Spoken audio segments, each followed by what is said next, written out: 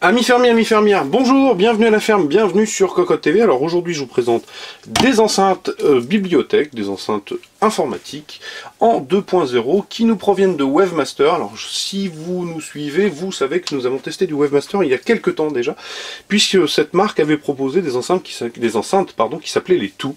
Euh, deux petites enceintes bibliothèques, un peu du même acabit que les cubes que nous avons aujourd'hui ici.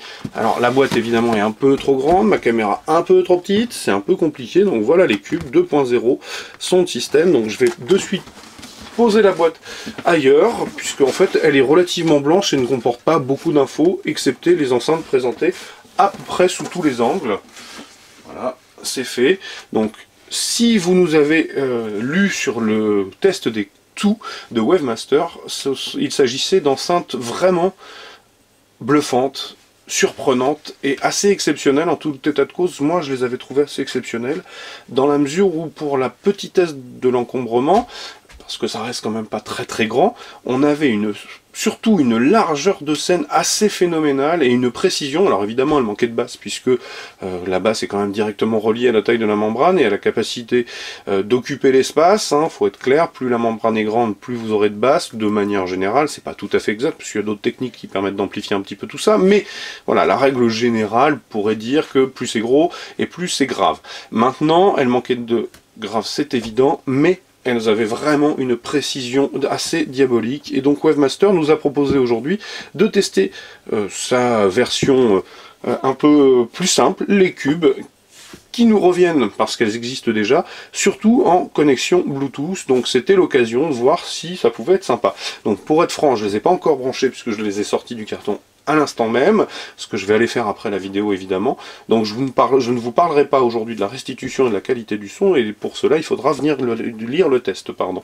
Donc au niveau du packaging, je vous l'ai présenté, tout blanc. Au niveau du bundle assez simple, un simple guide de l'utilisateur et c'est tout. Les enceintes, eh bien vous les avez sous les yeux, sont deux jolis euh, parallépipèdes en médium recouvert de mélaminé donc un petit film noir.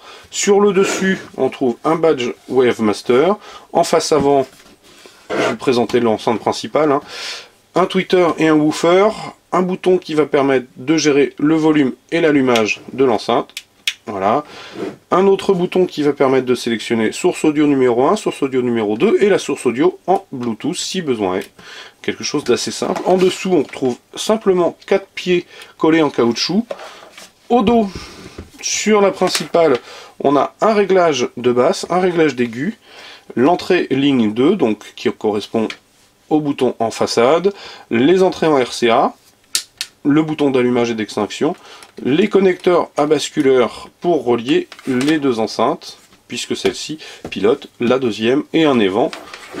présentation de la deuxième encore plus simple au dos, puisqu'on a simplement les basculeurs et les vents. Et voilà, une présentation assez rapide. Au niveau des caractéristiques techniques, nous avons donc, je cherche, je cherche, 50 watts RMS au total, donc 25 watts par enceinte. Elle couvre un spectre qui court de, je le cherche, je le cherche, et évidemment, il n'est pas précisé sur la boîte. Donc je vais regarder ici. Voilà, j'ai trouvé 45 à 22 000 Hz. Je vous l'ai dit pour la fréquence. On a 25 mm pour le tweeter, 13 cm pour le woofer, et c'est à peu près tout, puisque ça reste très très très simple. Donc, eh bien, je pense avoir fait le tour. J'étais en train de relire le reste de la présentation. Rien de plus que ce que je viens de vous dire. Donc, au niveau de l'encombrement, ça reste tout à fait raisonnable, même si posé sur le bureau, ça occupera quand même une certaine place, c'est évident. Oublié de présenter hein, le simple câble secteur, mais bon, ça, vous vous en doutiez. Donc, le plus simple, c'est je vais aller les brancher, et puis je vais vous inviter à revenir lire le test écrit qui paraîtra très très prochainement sur Cocotland. Si elle se comporte comme les tout, eh bien, vous avez un matériel qui risque fort d'être assez bluffant mais ça, seul l'écoute le dira, donc je vais aller les brancher tout simplement.